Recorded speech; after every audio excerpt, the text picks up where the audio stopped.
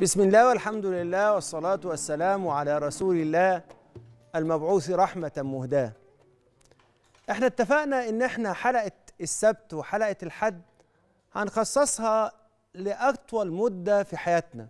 بس هنخلي حلقة السبت عشان نتكلم على إزاي نجدد الحب وازاي نخلي السعادة تدب في حياتنا الزوجية وفي علاقتنا اللي هي أطول علاقة وهي الزواج. فبنخليه والجزء ده بنسميه أصحاب السعادة إنما النهاردة شوية هنبتدي نقاوم ونزق في الاتجاه الصحيح ونحاول بقدر الإمكان نواجه نواجه إيه؟ نواجه منبئات الطلاق اللي بتقول إن إحنا عندنا أسباب لزيادة الطلاق وعشان كده إحنا الأسبوع اللي فات جالنا سؤال من مشاهدة كريمة وجاوبنا عليها إن زوجها بيكلمها عن منبئ من منبئات الطلاق بيقول لها دايما وبيتهمها إن هي السبب في عدم شعوره بالسعادة في إيه؟ في علاقتهم الخاصة وعشان كده وإحنا بنقول في ما إحنا بنلاحظ في مراكز الإرشاد الزواجي زي ما إحنا بنلاحظ في مركز الإرشاد الزواجي في دار الإفتاء بنلاحظ إن في حد اسمه الحاضر الغائب في أسباب الطلاق إيه الحاضر الغائب ده؟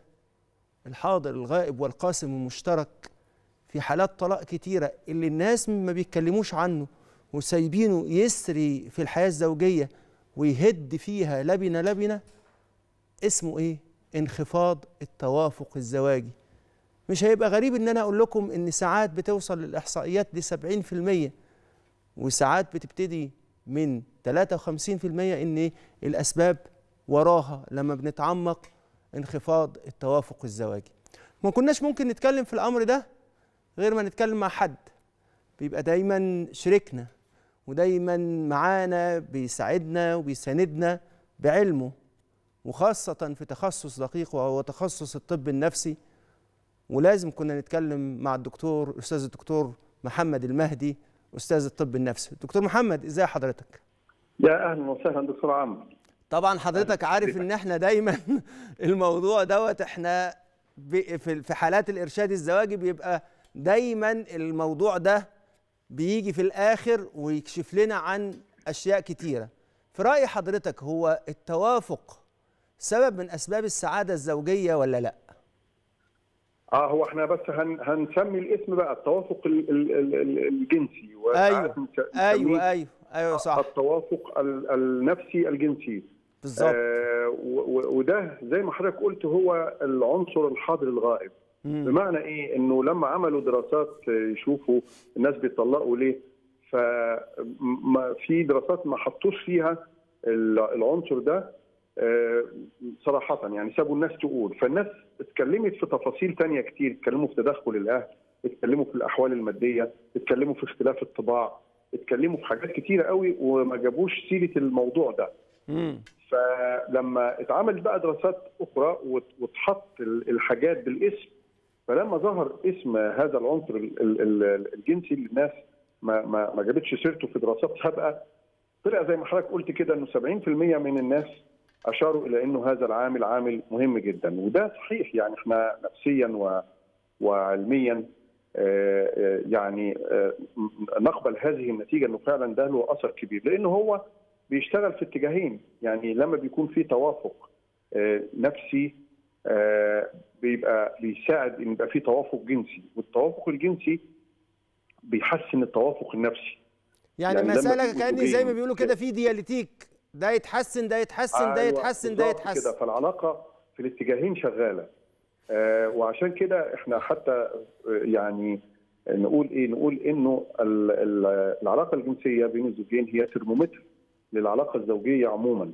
آه لأنه لما بيبقى الأمور في تناغم وفي هارموني كده ما بين الزوجين هتلاقي إنه ده بيتنقل برضه للعلاقة الخاصة. فالعلاقه الخاصة ترمومتر حساس جدا للعلاقة الزوجية بعمومها يعني. يعني المؤكد لكلام حضرتك إن إحنا بنلاحظ إن لو العلاقة كويسة بنلاقي في تواصل غريب شوية نلاقي النظرات الحركات أيوة. الابتسامات وهم في وسط الناس فده بيؤدي إلى تواصل كده السعادة و- و- وشهم كده منور و- و- صحيح. وفي حالة آه، آه، هدوء كده و- و- وانبساط يعني إيه بيبان عليهم حتى الناس آه، أهالينا البسطاء الطيبين كانوا زمان كده لما يشوفوا آه، الرجالة مثلا يشوفوا حد كده وشه مرتاح كده ومبسوط فيقولوا له آه يعني أكيد آه، مبسوط بالظبط. والستات تقول والستات تقول لي بعضهم. والستات تقول لي الستات انت وشك مورد.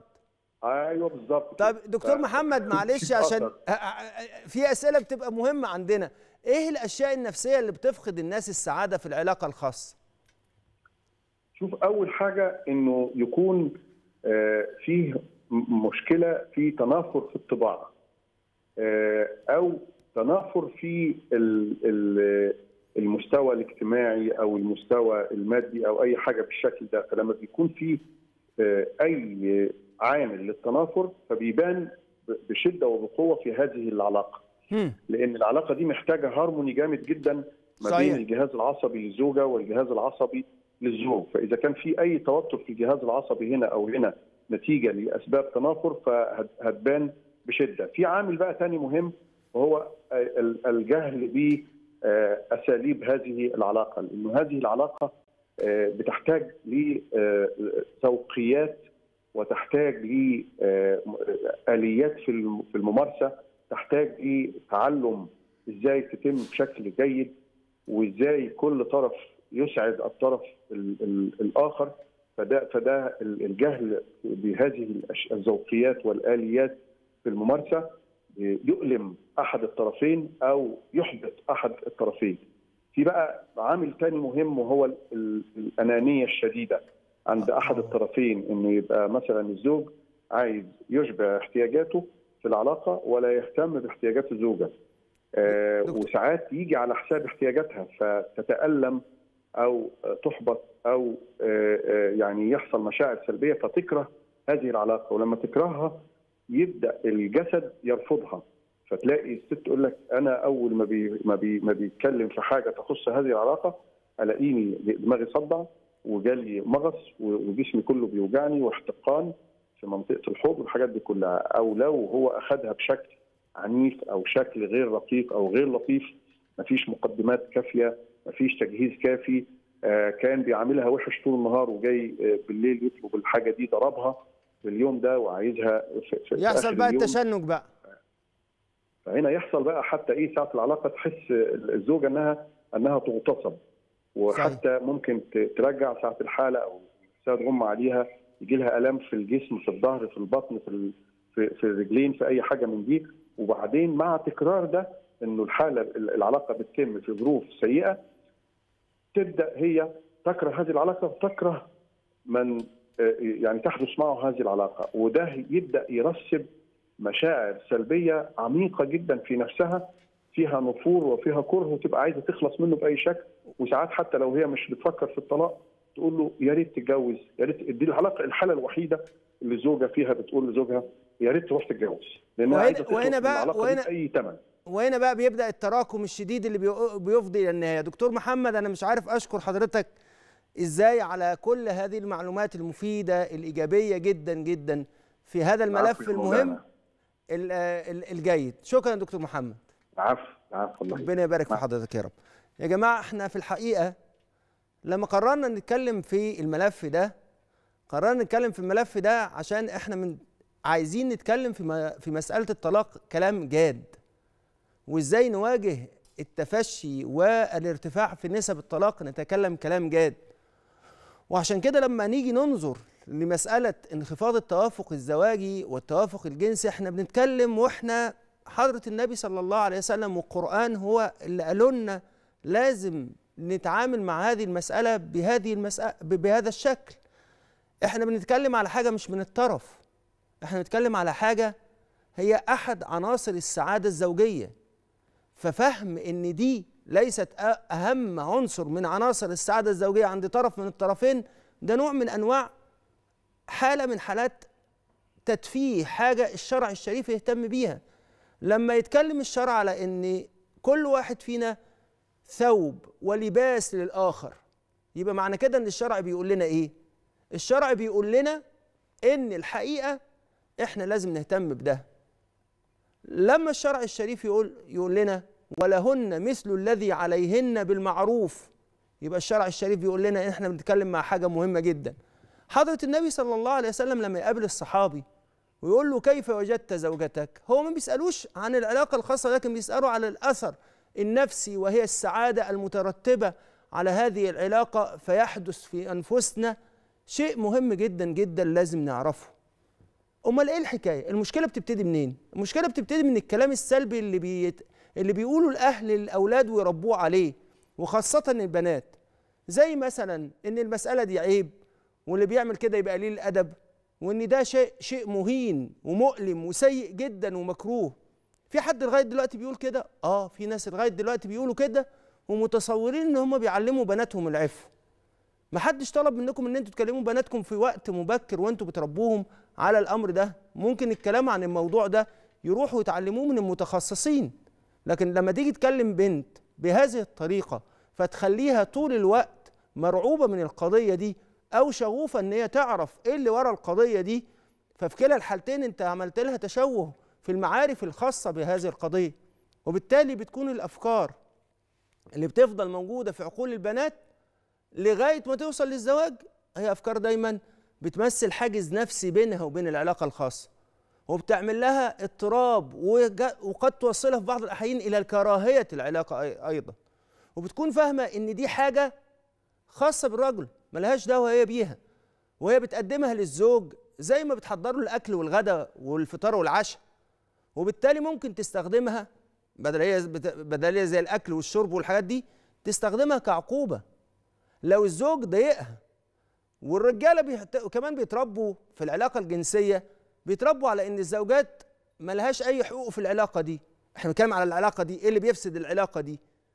بيتربوا الرجاله على إن الست ملهاش حق في العلاقة دي ويحسوا بالسعادة إن هم فقط يكونوا مركز العلاقة دي وإن لو أي ست ليها طلبات أو إن هي حاولت تتكلم في ده زي ما الرجال ليها رغبة يبقى الست دي مش مؤدبة. يبقى الست دي مش متربية. فيحصل حالة من حالات إن هو يشك في زوجته إذا كانت هي بتتكلم عن ده فتصبح العلاقة في الحقيقة هي لإرضاء الأزواج بس وتتحول الست في العلاقة دي إلى أداة. مع إن العلاقة الزوجية دي لازم نفتكر إن العلاقة الزوجية دي الله سبحانه وتعالى قال هن لباس لكم وأنتم لباس لهن. ويبقى كده كمان ده مش للعمل بالمعروف ولهن مثل الذي عليهن بالمعروف. ده مش ده مش معروف. لازم يبقى في عدالة في هذه العلاقة ولازم نتعلم إن العدالة في العلاقة دي هو اللي هيوصلنا إلى حد ممكن العلاقة دي تحافظ على الجواز. وكمان الشرع أمرنا إن إحنا نقدم لأنفسنا. يعني إيه نقدم لأنفسنا؟ يعني كل واحد فينا يراعي نمط الآخر فيما يتعلق بهذا. والله سبحانه وتعالى قال وقدموا لأنفسكم. وده معناه إن المرأة مش أداة ولا وسيلة لإسعاد الرجل. لازم نتيقن إن انخفاض التوافق الزوجاتي الزواجي في الجنس بالذات بيكون أوقات كتيرة سبب للمشكلات. واوقات بيكون أثره سيء جدا. تعالوا طب نرجع ونسأل إيه اللي بيخليه بعض الناس بيشوفوا إن الكلام في الموضوع ده كلام عيب رغم إن ده مش عيب؟ ده جزء من المعارف الأساسية اللي إحنا لازم نتعلمها وده جزء من فهم حديث رسول الله صلى الله عليه وسلم. من استطاع منكم الباءة فليتزوج. خلينا مع التفسير الأولاني للباءة وهي الباءة أي القدرة الجنسية. وده تفسير من التفسيرات. القدرة معناها إن أنت تكون عارف إن أنت تكون عالم إن أنت تكون فاهم. ومعنى إن أنت إحنا ما بنتولدش بالمعارف دي. يعني من أهم الأسباب إن الناس كتيرة فاهمة إن إحنا بنتولد بالمعارف دي وإن المعارف دي مش محتاجين إن إحنا نعرفها. لا العلاقة الجنسية بينتج عنها أعلى درجة من درجات اللذة اللي بيذوقها الجهاز العصبي ودي حكمة من ربنا سبحانه وتعالى عشان يجي شيء كده من عند الله ممكن يخير مود للزوجين ويغيرهم وبعد ما يحصل الكلام ده تقول له طب أنت بتزعلني ليه؟ وهو يقول لها يا ست إحنا عايزين نعيش مع بعض عيشة هنية. طب إيه اللي حاصل؟ لأن ربنا عمل السر ده فينا. أنا لما تأملت العلاقة الخاصة لقيت حاجة غريبة إن في العلاقة الخاصة وكأننا بنرجع للشكل الأول. المرأة خلقت من ضلع الرجل فكأنها بتعود مرة ثانية ويلتحموا ببعض. وده اللي بيولد منهم الحياة وده على أعلى درجات الالتحام ما بين البشر وده لا يحصل إلا ما بين الزوجين ولو حصل بره إطار الزواج بيبقى حرام وبيبقى فاحشة وبيبقى كبيرة وفي عقوبة بتترتب عليه وعشان العلاقة دي تنجح لازم نفهم إن في حاجة اسمها تصور العلاقة دي عند المرأة اللي هو بيختلف في جزء منه عن تصور العلاقة عند الرجل. المرأة العلاقة دي بتبتدي عندها 80% مشاعر و20% جسد. يمكن الأمر ده بينعكس عند الرجل 80% جسد و20% مشاعر. إيه ده؟ ده زي بالظبط الالتحام اللي إحنا كنا بنتكلم فيه وكأن بيحصل هذا التكامل بينهم. وكل واحد فيهم لما يعرف ده لازم يراعي التاني. وعشان كده حضرة النبي صلى الله عليه وسلم لما أمر إن الشخص يحصل له أي زيغ في القلب فيحصل إن عينه تزيغ إن هو يعمل إيه؟ يبرد نيران الشهوة بإنه يذهب إلى المكان الصحيح فيتذكر إن ربنا خلق ده عشان هو يعيش في أمان ويعيش في رحمة ويعيش في مودة فيرجع تاني للمكان اللي بيبرد فيه نيران الشيطان والشهوة فيرجع للأمان يرجع للبيت ولذلك العلاقة دي لازم فيها أربع قيم وأربع أخلاق بتسيطر عليها الأمان والاهتمام وكمان الاحترام والتقدير. العلاقة دي ملفوفة بهذا الجمال فما ينفعش إن الإنسان ينسى ده. إذا العلاقة الجنسية ليست علاقة ما بين عضو وعضو وجسد وجسد ولكن علاقة ما بين بني آدم وذات وروح ونفس وقلب. فلازم نفهمها كده. ولذلك إحنا بنقول حكمة في الإرشاد الزواجي عندنا بنقول لهم إيه؟ هي العلاقة الخاصة بتبتدي من إمتى؟ قلنا العلاقة الخاصة بتبتدي من صباح الخير يا قمر صباح الخير يا حبيبي ويبقى كده دوت جزء من وقدموا لأنفسكم يبقى من بدري قوي إحنا بنبتدي بهذا الكلام وللأسف بعض الناس أنا اسف يعني وأنا عارف إن بعض الناس مشدودين وأنا بتكلم دلوقتي لكن بعضهم برضه هينكر إن المشاكل الزوجية كتير منها نابع من انخفاض التوافق الزواجي. أنا هقول لكم حاجة أنا لسه جاي من جلسات الإرشاد الزواجي دلوقتي. أنا لسه جاي من جاي لسه جاي دلوقتي من من من استشارة سببها عدم التوافق الجنسي. ولما تيجي تواجههم بالمسألة يقولوا بالعكس مفيش مشاكل. لكن بعد شوية وأنت بتتحقق وبتنظر تطلع إن المشكلة دي مهمة جدا جدا. والحقيقي إن اللي بيحصل إن لو العلاقة الخاصة فشلت فكل تفاصيل تفصيلة في الحياة بتبقى زي الجبل. دي كشرت في وشي. وهي أصلا مش كشرت في وشي ده ده سايباني بحب عايز أحب عايز أعبر لها عن حبي ومش عارف. وصوتها بيعلى عليا وطبخها وحش ومش بتعمل مش بتعامل أهلي كويس. وكل شوية يطلع حاجة غلط فيها. وهي في المقابل برضه. ده هو الحقيقة قاسي عليا. الحقيقة وهي عندها العلاقة معناها الاحتواء. التلامس معناه الاحتواء عند المرأة والراجل معناه إن هو حاسس إن هو إنسان مدلل الطفل اللي فيه بيدلل فهي معناها إن هي فقد الاحتواء وهو فقد الإنسان الطفل اللي جواه بي بيصرخ. الإنسان بيكون استقباله للأحداث استقبال مختلف لما بتكون العلاقة دي مش مناسبة. وعشان كده إحنا لازم يبقى عندنا شوية فهم للقصة دي. أنا النهارده فتحت الباب ده وممكن نفضل نتكلم فيه بس الإنسان لازم لازم الإنسان طول الوقت ما يبقاش عنده إفراط في التهاون بهذه المسألة. ولازم يحترم مفاتيح السعادة في حياته. والمعاملة غير الرشيدة مع الأمور دي بتخلي مزاجه يتعكر وبالتالي حياته تتعكر والأمور تتعقد لأنه مش عارف إنه محتاج لذة. واللذة دي ده مفتاح من مفاتيح السعادة ربنا وضعه فيها ما ينفعش إن إحنا نحتقره. وهو مش ممنوع. ومش هيعرف يعوضه في حتة تانية. ولذلك لازم نعرف إن مفسدات العلاقة دي زي ما أشار الدكتور محمد إلى بعضها منها جهل شديد بأساس العلاقة دي اللي هو التباين ما بين الزوجين وكمان إن هو مبني على الاهتمام والاحترام والتقدير وكمان آه الأمان. لو ما حسس كل شريك من شركاء الحياة بهذا في العلاقة العلاقة ما بتكونش في شكلها الصحيح. كمان مشاكل التواصل محدش بيسمع التاني. أنا شايف إن إحنا لازم نتكلم عن ده مع بعض. إذا ما اتكلمناش ده مع بعض هيلجأ الزوج للأسف للمشاهدات وعشان كده كمان بتحصل مشكلات من هذه المشاهدات. الأمر الثاني التدخل الخارجي وإفشاء الأسرار. عارفين يعني إيه إفشاء الأسرار؟ يعني حديث رسول الله صلى الله عليه وسلم اللي حذرنا. إن من أشر الناس عند عند الله منزلة يوم القيامة الرجل يفضي إلى امرأته وتفضي إليه ثم ينشر سرها. الكلام مع الأهل والأقارب ولا الكلام مع القهوة مع الناس ولا الكلام مع الأصحاب. لما بيوصل ده للشخص بيحس إن هو اتعرى أو بيحس إن هو صغير.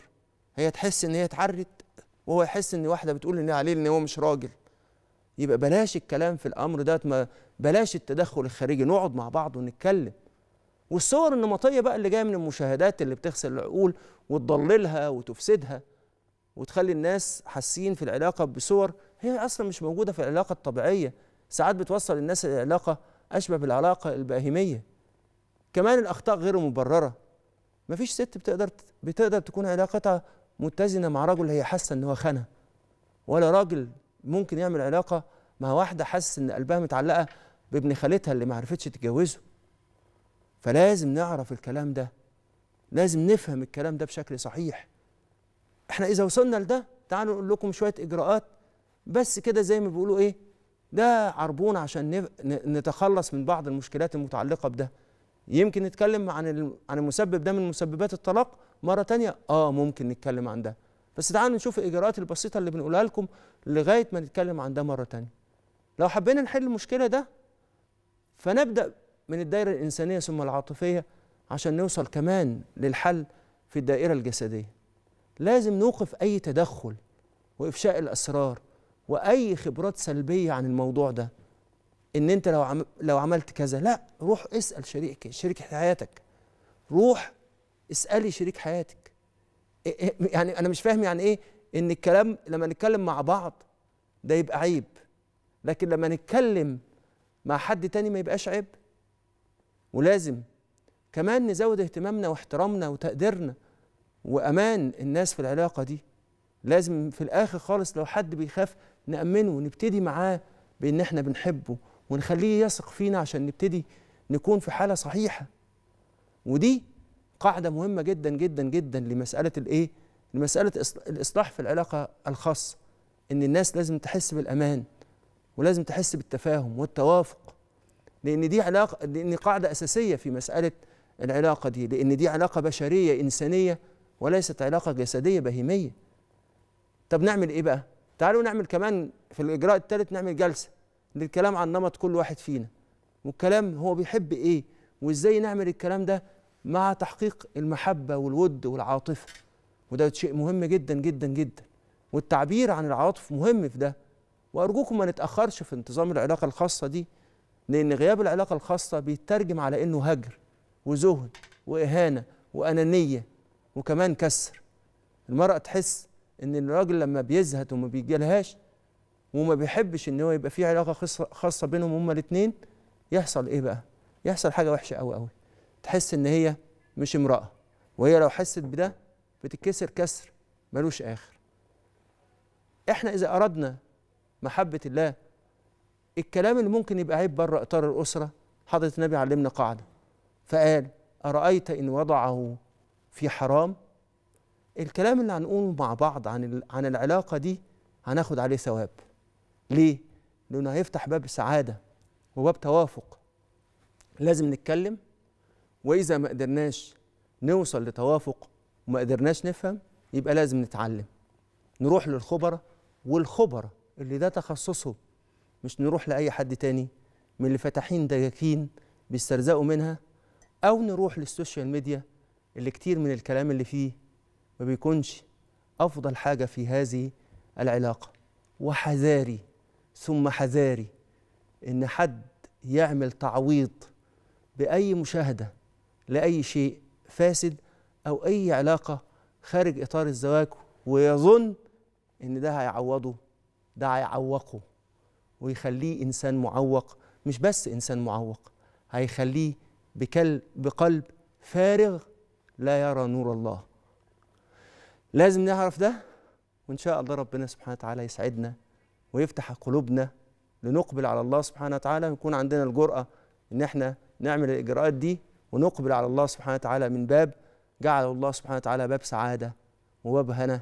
فالحمد لله على أنه جعل لنا لذة وتكون هذه اللذة نعمة وفتحا وقربا منه سبحانه وتعالى. بعد الفاصل نلتقي عشان نجاوب على أسئلتكم المباركة رجعنا لحضراتكم ومعانا صفحتنا على الفيسبوك صفحة برنامج ولا تعسروا اللي هي بنستقبل عليها أسئلتكم وتعليقاتكم وتفاعلكم وخاصة مع المحورين الجداد اللي إحنا بنتكلم عن محور منهم النهارده وهي كيفية مواجهة منبئات ارتفاع نسب الطلاق زي ما كنا النهارده بنتكلم عن انخفاض التوافق الجنسي. وأول تليفون عندنا النهارده من أم شريف. السلام عليكم. عليكم السلام ورحمة الله وبركاته. آه يا شيخ عمرو معلش أنا آسفة أنا ليا سؤالين عند حضرتك. اتفضلي سامع حضرتك.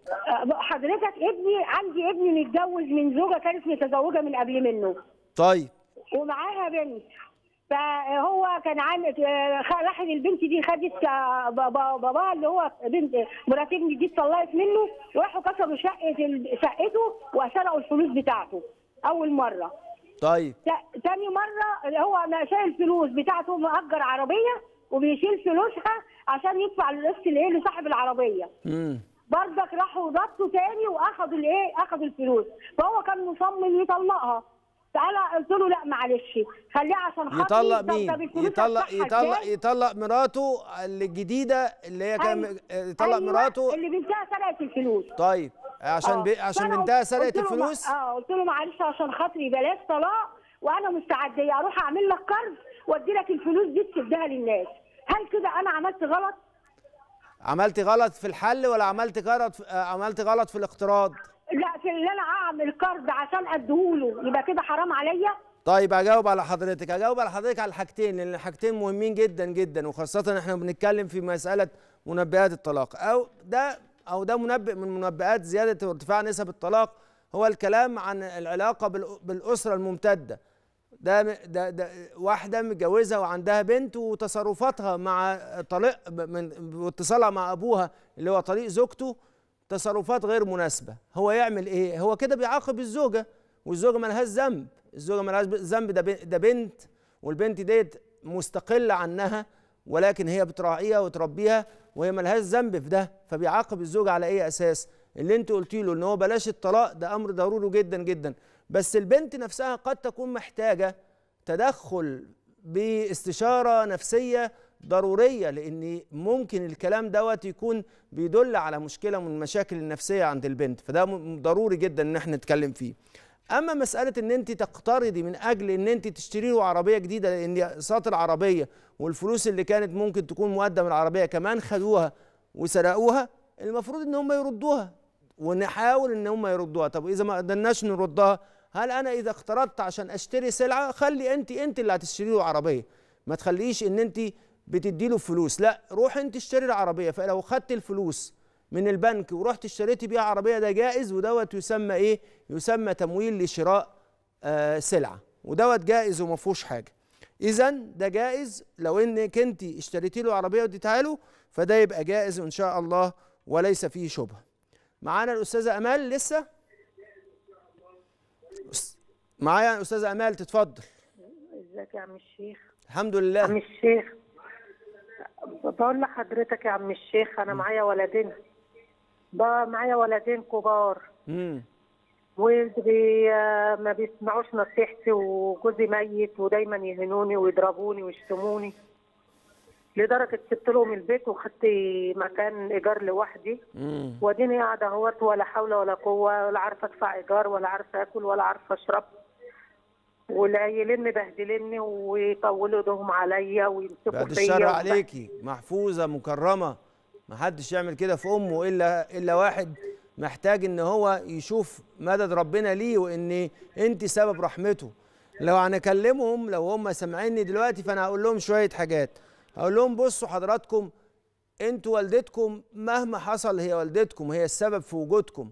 وجودكم ده اللي أنتوا بتتطاولوا بيه واللي شايفينه وعامل لكم لقمة عيش تقدروا تعاقبوا أمكم لما ت... لما تفتقروا تبقى محتاجة فتمنعوه عنه عنه. ربنا جعلها سبب إن أنتوا موجودين دلوقتي. وربنا جعلها سبب إن أنتوا مرحومين دلوقتي. ولذلك ربنا كلم الرحم فقال ألا يكفيك أن أصل من وصلك وأن أقطع من قطعك. عارف يعني إيه؟ تعرف الكلام ده من حديث رسول الله صلى الله عليه وسلم. إيه حديث رسول الله صلى الله عليه وسلم؟ قال من أراد أن يبارك له في رزقه وأن ينسى له في عمره فليصل رحم. أنت جاي لأصل الرحم اللي هي والدتك وتسيء إليها. شوف بقى بركة الرزق هيحصل لها إيه. شوف الراحة في الحياة هيحصل لها إيه. إذا ماتت أم الإنسان وربنا يطول في عمرها مع حسن العمل وإن شاء الله السعادة يحصل يقول لها إيه. يقول ينادي منادي. ماتت التي كنت ترحم من أجلها. عايزين ما يحصل لكمش أذى في الدنيا وعايزين أصلا تكونوا بني آدمين. سيبكم من سيبكم كمان ده من قبل ده. عايزين تكونوا بني آدمين وتكونوا عبيد لله لأن أنتم مرزوقين برزق الله. أنتوا ما حدش فيكم لا بيصنع رزقه ولا بيصنع قدرته. هتعمل فيكم إيه أمكم يعني؟ هتقول لكم كلمة وحشة؟ هتقول لكم هتكلم زوجاتكم إيه يعني؟ تحملوا دوت بامكم سبب رحمتكم. الجنة تحت أقدامها. الله سبحانه وتعالى جعل الخير فيها وقرن برها وقرر إن أنت تحترمها وإن أنت تحطها في قلبك وفي عينك قرنوا بتوحيده. وقضى ربك ألا تعبدوا إلا إياه وبالوالدين إحسانا. لاحظ إن الوالدين ديت مشتقة من الأمهات لأن الأم هي اللي ولدت الأب ما ولدش. فهي المركز وهي الأساس وهي الرحمة وهي الخير وهي الجمال. عايز تبقى جميل واولادك هيحبوك إزاي؟ يعني أولادك أنتوا أنتوا الاثنين أولادكم لو عندكم أولاد يحبوكم إزاي؟ وأنتوا شايفينكم بتعملوا كده في أمكم. يبقى اذا ارجعوا إلى الله. توبوا الآن. توبوا الآن ولو أنتوا سامعيني اتصلوا بيها. وهي لما تفتقر واجب عليكم إن أنتوا تنفقوا عليها. واجب شرعا. ولذلك إيه اللي بيحصل؟ إحنا الزكاة لا تعطى للأصول والفروع. ليه؟ لأن هم لو افتقروا بيبقى واجب علينا إن إحنا ننفق عليهم. بدل هم هي فقيرة ومش قادرة تدفع أجر البيت ومش قادرة تاكل واجب عليكم إن أنتوا تدفعوا لها. فاتقوا الله سبحانه وتعالى فيها. واعلموا إن باب الرحمة مفتوح وباب التوبة مفتوح. فيلا سارعوا للإقبال على الله سبحانه وتعالى من الباب الأوسع باب رحمة الأمهات. أستاذ عبد الحميد يتفضل. السلام عليكم ورحمة الشيخ وعليكم السلام ورحمة الله وبركاته. لو سمحت يا فندم كان ليا استفسار بسيط برضه بخصوص النقطة اللي حضرتك بتتكلم فيها. اتفضل. دلوقتي حضرتك هو الموضوع يطول شرحه شوية. طيب إذا كان يطول شرح إذا كان يطول شرحه هنختصره عشان الهوا. اتفضل يا فندم. هنختصره يا فندم. دلوقتي حصلت مشكلة بيني وبين زوجتي قبل رمضان. امم فراحت راحت البيت عند أبوها. امم ماشي؟ فدلوقتي هي بعد ما راحت البيت عند أبوها ما قعدتش حوالي أربع أيام أو خمس أيام وفوجئت بيها فاتحه محل واقفه فيه بتبيع وتشتري. طيب. وطبعا أنا ما أعرفش بيه ولا خدت إذني ولا أعرف أي حاجة من دي. طيب. وطبعا حضرتك تعرف وحضرتك سيدي العارفين إن في الأرياف ممنوع إن الواحدة لما تكون غضبانة من بيت جوزها وعند أبوها ما تطلعش من بيت. طب كمل بس كمل. اتفضل. كمل حضرتك كمل يا سيد عبد الحميد. طب دلوقتي حضرتك يا فندم لما اتكلمت مع أخوها قال أنا راضيني اللي هي عملته. طب يا عم الحاجة دي أصول إن هي تبقى عندك في بيتك. وتطلع تشتغل قال لي ما حدش عنده أصول اليومين دولت. ففي ناس أهل الخير اتوسطوا المهم إن أنا رجعتها قبل طيب. رمضان بيومين. طيب. ماشي؟ طيب حاولت إن أنا أقف معاها وزي ما الناس اتدخلت و- وصلحنا حاولت إن أقف معاها في المحل وتبقى إيدي في إيديها لقيتها طريقة تصرفاتها معايا مش زي الأول. طريقة معاملتها معايا مش زي الأول. حتى يا فندم العلاقه العلاقة الزوجية اللي حضرتك بتشير إليها إن هي السبب ممكن تكون سبب في ارتفاع نسب الطلاق لقيت منها الصدى طيب سيد. عبد الحميد لأن المسألة المسألة دي محتاجة نسمع من الطرفين. خليني أقول لك وأنصحك شوية شوية. الست لما بتعمل كده وخاصة هي عندكم أولاد صح؟ لا مفيش ما فيش. سنة ونص ما فيش أولاد ما ما فيش أولاد لأن آه. في منع من الإنجاب؟ لا مفيش مانع. طيب يبقى إحنا دلوقتي عندنا حاجة عويصة أنتم متجوزين من إمتى؟ بقالي دلوقتي حضرتك يعني شهر 10 الجاي يتم سنتين. كويس. ال... ال... الوضع اللي إحنا فيه ده لو أنتوا كن ما عندكمش تجارب زواج سابقة ودي أول تجربة الوضع آه، اللي إحنا فيه. دوت وانتوا عايزين تخلفوا يبقى الوضع عندنا إن في حد حاسس بالمهانة فحاسس حاسس إن هو لابد إن هو يقاوم أي نوع من أنواع المهانة والدليل على ذلك لأن هي حاسة بالمهانة راحت تجلب نوع من أنواع القوة ونوع من أنواع رد الكرامة بإن هي تفتح مورد مالي تستطيع من خلاله تحس إن هي اترد لها كرامتها. وعشان كده لو كان في أي استعمال للعنف معاها أو أي نوع من أنواع محاولة التكسير فلا بد إن هو يقف. إذا كنت حضرتك حضرتك- عايز تعمل كده أيوه. إذا كنت حضرتك عايز ترجعها لو في أي نوع من أنواع العنف لازم يقف. لو في أي نوع من أنواع تكسيرها يعني دايما إحساسها بإن هي أنت مين وأنت ما أعرفش إيه وأنت ممكن تكوني زي الأرض البور الكلام ده كله أنا مش بقول إن ده لازم كله يكون موجود لكن لو موجود حتى بعضه لازم يقف. لأن الشخصيات المستقلة اللي زي زوجة حضرتك اللي هي لما حست بالمهانة راحت فاتحة محل الشخصيات المستقلة ما تعملش كده. طبعا زي ما زي ما أنا كل ما باجي أتكلم في إصلاح ما بين الزوجين وأفهم كل واحد شخصية التاني يجي يقول لي أنت جيت على المظلوم. أنا ما جيتش على المظلوم ولا حاجة.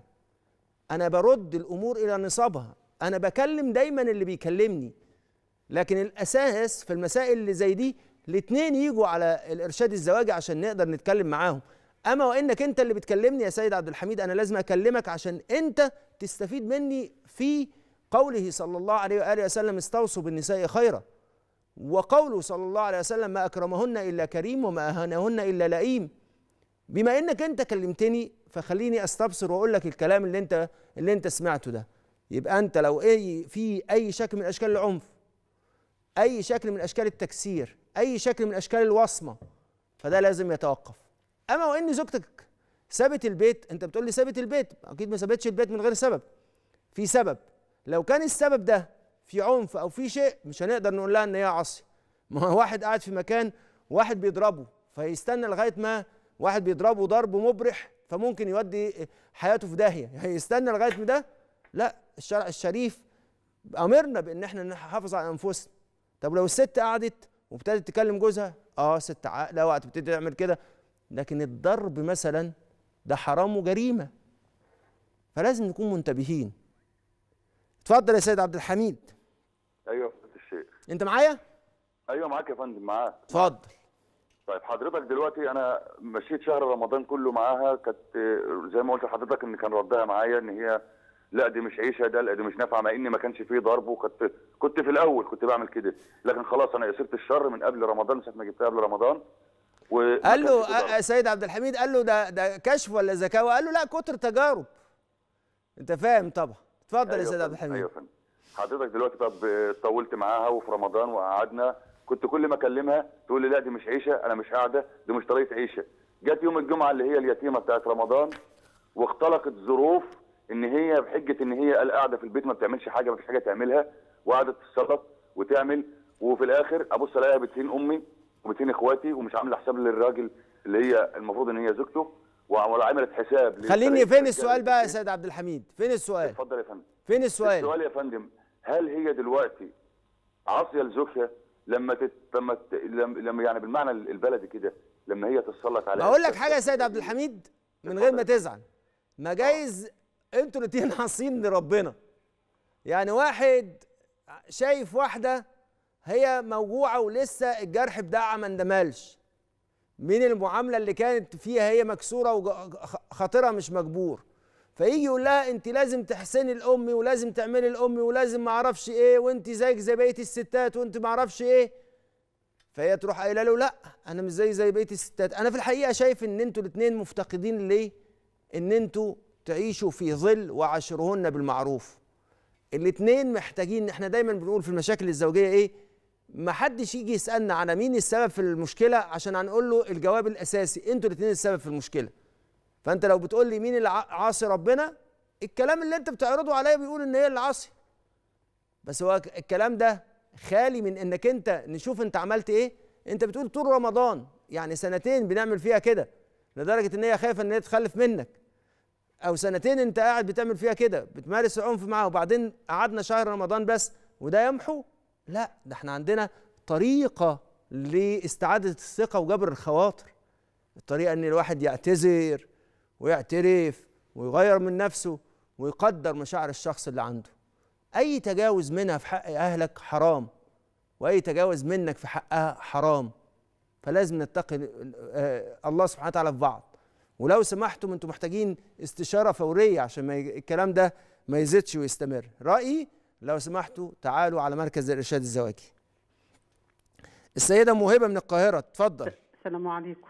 عليكم السلام ورحمة الله وبركاته. جزاك الله عنا خير يا شيخ. الله يبارك في حضراتكم يا رب.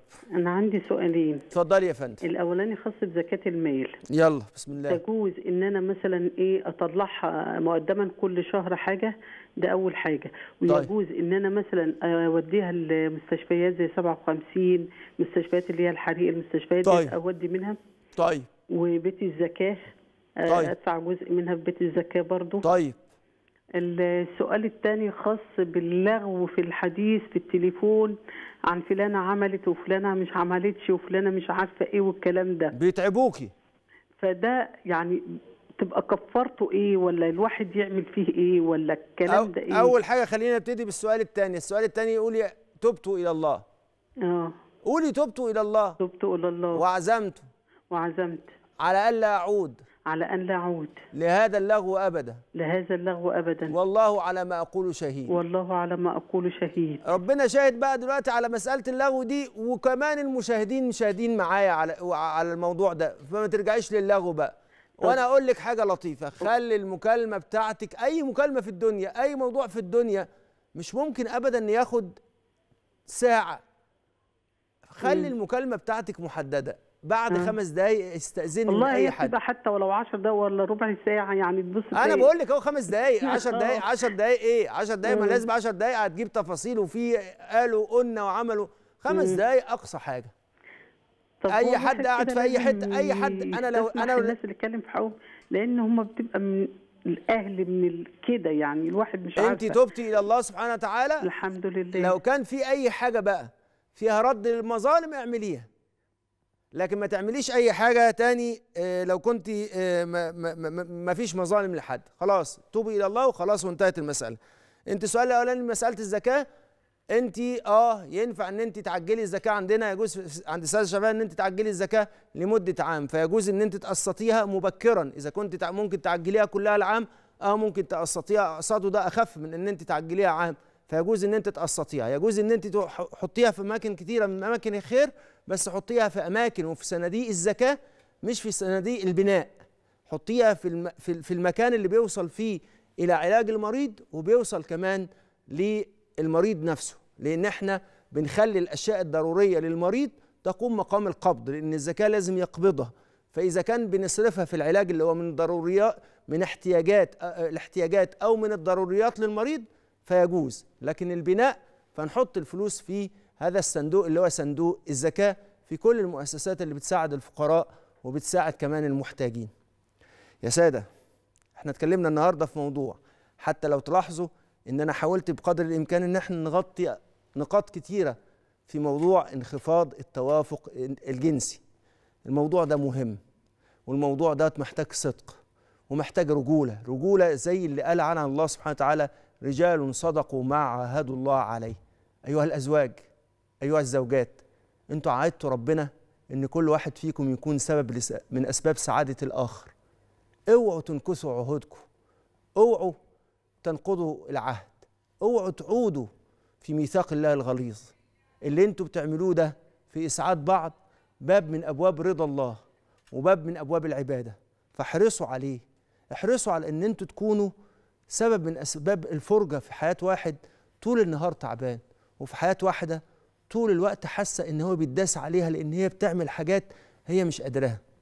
اسعدوا بعض اسعدوا بعض بإن أنت تفهم إن العلاقة دي جزء بيكتمل بتمام المشاعر فلازم يبقى فيه مشاعر الأول وكمان ما تحاوليش تهدديه أو تمنعيه لأن هو بيحس بالكسر. اتقوا الله سبحانه وتعالى في بعض.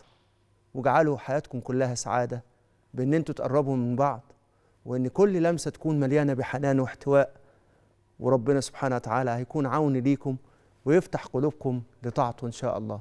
يا رب أكرمنا واجعل بيوتنا مليئة بالرحمة وبالسعادة وبالجمال. واجعلنا يا رب باب من أبواب التخفيف والرحمة والود والسعادة يا رب العالمين. يا أكرم الأكرمين أكرمنا بأن نكون مددك الواصل لأحبابنا والطيب والكرم الذي يصل إلى قلوبهم فيجبر خواطرهم ويسعد قلوبهم. يا جميل يا أكرم الأكرمين يا أرحم الراحمين يا رب العالمين.